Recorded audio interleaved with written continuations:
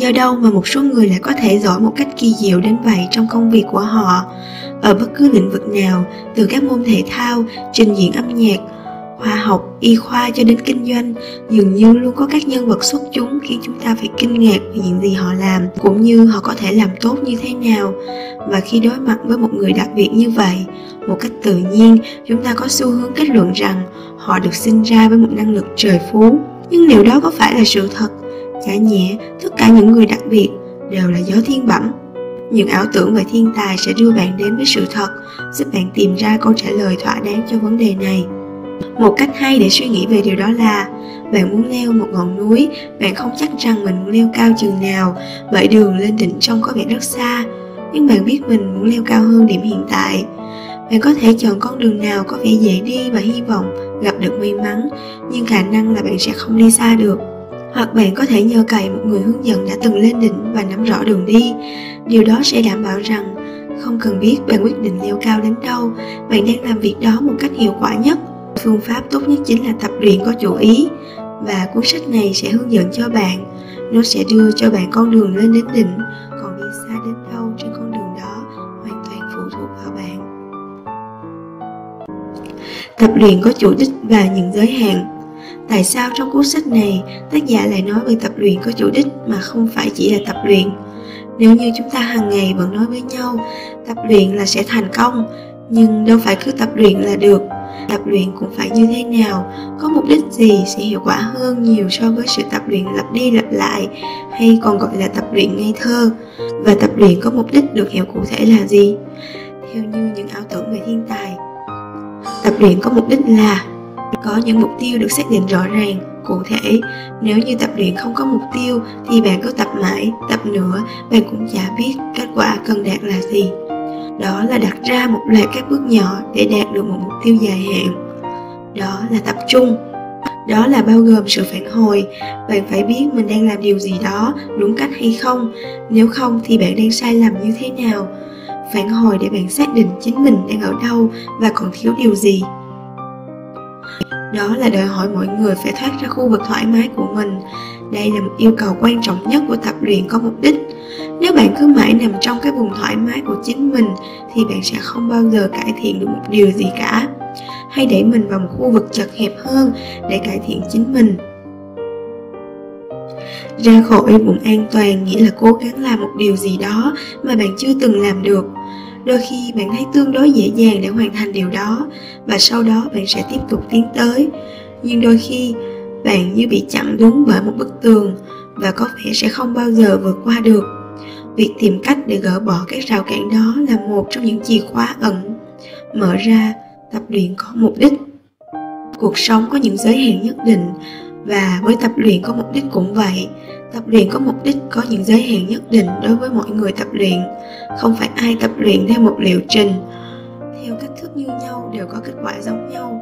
Chỉ là kết quả đó là tốt nhất trong khả năng của mọi người đó mà thôi. Đó là những giới hạn. Giới hạn khả năng cải thiện của mọi người là khác nhau. Hình dung trong đầu. Trong cuốn sách những ảo tưởng về thiên tài, hình dung trong đầu được phân tích rất kỹ càng như một yếu tố quan trọng đối với các thiên tài tất cả chúng ta, ai cũng sẽ có những hình dung nhất định khi nói về sự vật, sự việc nhất định. Chỉ là sự hình dung đó là mơ hồ hay rõ ràng, vô hình hay hữu hình.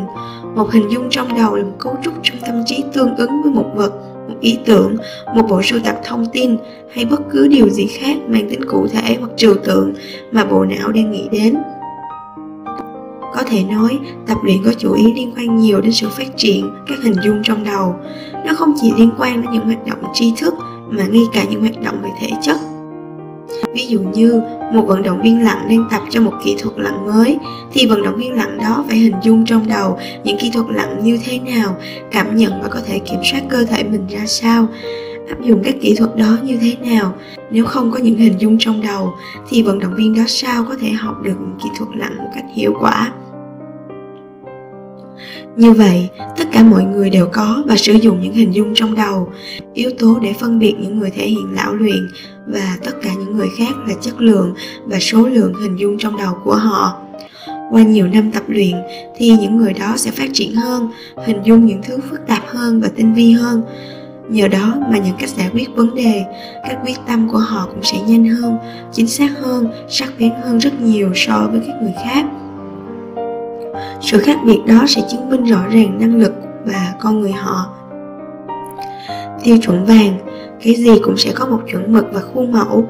Với tập luyện có mục đích cũng vậy, tập luyện có mục đích cũng có những tiêu chuẩn vàng. Đó là một mô hình lý tưởng cho những ai đang học những môn kỹ năng có thể tham khảo. Sau đây là những nguyên tắc của tập luyện có chủ đích. một Tập luyện có chủ ý phát triển các kỹ năng mà người khác đã tìm ra cách phát triển và nhờ đó, những kỹ thuật huấn luyện hiệu quả đã được xây dựng. Chế độ luyện tập phải được thiết kế và giám sát bởi giáo viên và huấn luyện viên hiểu rõ về năng lực của những người trình diễn não luyện cũng như về việc có thể phát triển tốt nhất những khả năng đó như thế nào.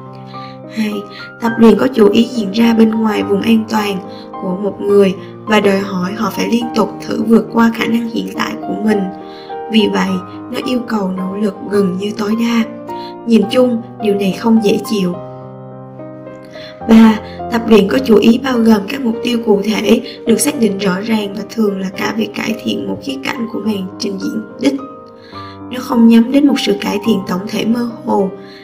Sau khi một mục tiêu tổng thể được thiết lập, giáo viên hoặc huấn luyện viên sẽ phát triển một kế hoạch để thực hiện một loạt thay đổi nhỏ mà sẽ bổ sung vào sự thay đổi lớn như mong muốn cải thiện một số khía cạnh của màn trình diễn mục tiêu cho phép người thể hiện thấy rằng các màn trình diễn của họ đã được cải thiện nhờ vào việc tập luyện 4.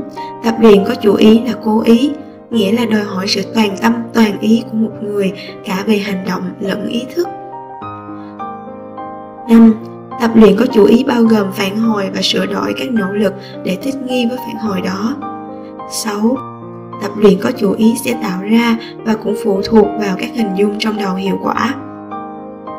7. Tập luyện có chủ ý gần như luôn liên quan đến việc xây dựng và sửa đổi các kỹ năng trước đó bằng cách tập trung cải thiện các khía cạnh cụ thể của những kỹ năng đó. Qua thời gian, sự cải thiện từng bước này cuối cùng sẽ dẫn đến sự thể hiện não luyện con đường dẫn đến sự lão luyện. Trong mục này chúng ta sẽ tìm hiểu rõ thêm về cách thức để chúng ta trở thành một con người lão luyện. Có thể coi mục này như cách tiếp để tạo ra một chuyên gia. Một, khởi đầu.